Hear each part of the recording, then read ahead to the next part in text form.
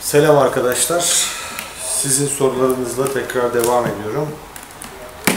Ee, Oytun arkadaş demiş ki kışlık Adventure ve Turex arasında kaldım. Hangisini seçmeliyim? Daha önceden yanıtlamıştım bunu Oytun'a. Ee, Turex yaz aylarında daha iyidir. Kumaşı daha uygundur demiştim. Adventure biraz daha e, kışlık 3 mevsim olarak kalır.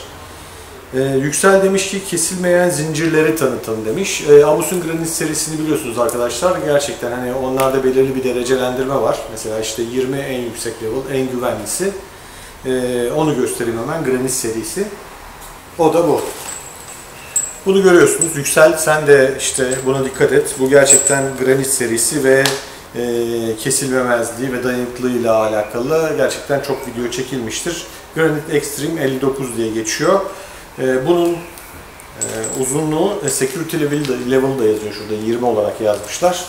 E, 170 santim yani 1 metre 70 santim olarak e, bu en güvenli olanlardan bir tanesi Abus Granit seviyesi. Yani işte kendiniz bunu işte açmaya çalışınca işte hırsızlığın bir tanesi açmaya çalışınca galiba iç, içindeki şey e, açılmasına izin vermiyor. Böyle bir yapısı vardı. Tam detayını okumadım da daha önceden tanıtmıştım bunu.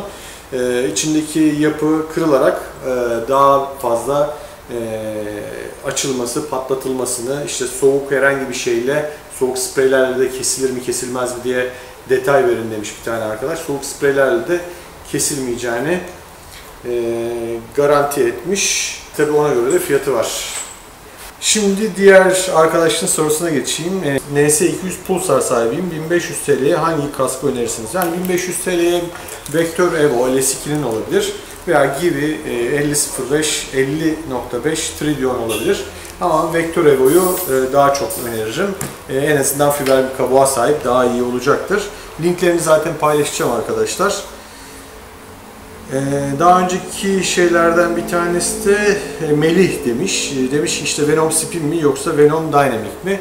Eğer 3 mevsim kullanmak istiyorsan Venom Dynamic kışın içine bir tane termal termal giyerek e, hani yaza çok uygun mu? Yaza çok da uygun değil Venom Dynamic. Ama 3 mevsim e, yazın sıcak aylarında çünkü Venom Dynamic bayağı terletecektir. Venom Spin tamamen yazlıktır.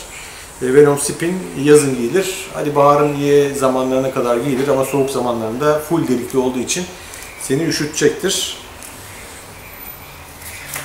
Bir de e, yine bekleriz diye bir tane arkadaş var. 500 500 arar için kask önerisi istemiş. 600 arar olabilir mi? Neyse. Ben kask önerilerinden bir tane Kaberk'i söyleyebilirim veya şark önerebilirim. Şarkın tabii ki karbonu var, fiberi var. Sadece fiberi var, karbon fiberi var. Polikarbonu var. Hani senin bütçene hangisi uygunsa onlardan bir tanesini alabilirsin. Kaberkler, kaberkler 1500-1600 lira civarında. Bunlardan da alınabilir. Bunların zaten özelliklerini bizim sayfamızda bulabilirsin. Kaberk işte Kaberk diye yazdığın zaman bir sürü sana hani kas tanıtımı çıkacaktır. Bu Kaberk Dük 2 diye geçiyor. Hani kısaca özelliklerinden bahsedeyim. Bu e, güneş vizörlü bir kask, geniş bakış açısı var.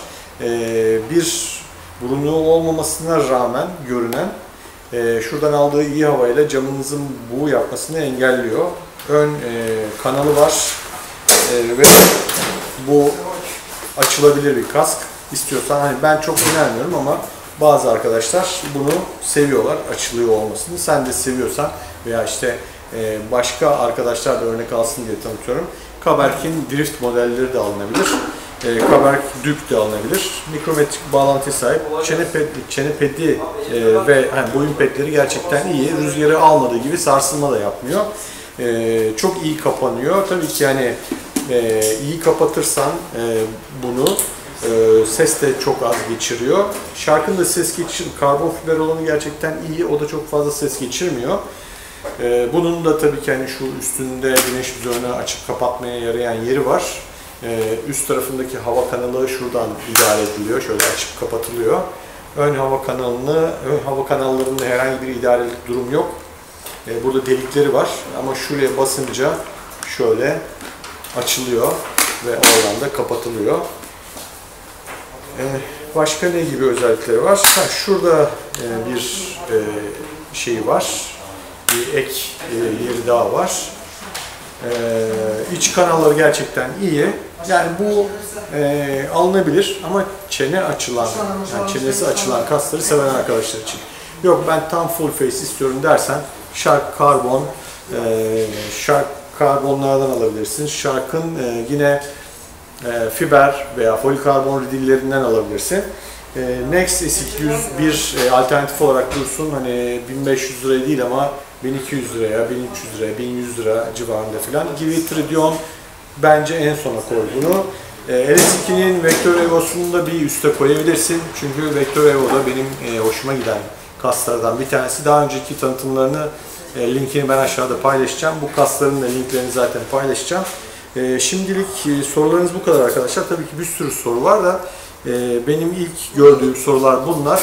E, umarım yararlı olmuştur. Siz de sorularınızı eğer herhangi bir sıkıntı çekiyorsanız ürünlerden o ürünün sorununu yazmaya çekinmeyin arkadaşlar. Ben yorumları silmiyorum. Tamamen diğer arkadaşlar da faydalansın. Diğer arkadaşlar da buradaki alınacak, alınmayacak, performanslı, fiyatı iyi olup iyi performans verenleri görebilsin. Sizin önerileriniz ve uyarılarınız onlar için de önemli, bizler için de önemli. Lütfen abone olup e, bizim e, zilimiz işte e, YouTube'daki zili açmayı unutmayın. Onu biliyorsunuz zaten. Ben altına zaten hemen koyuyorum. Kanal linkimiz de belli zaten. Hepinize iyi sürüşler.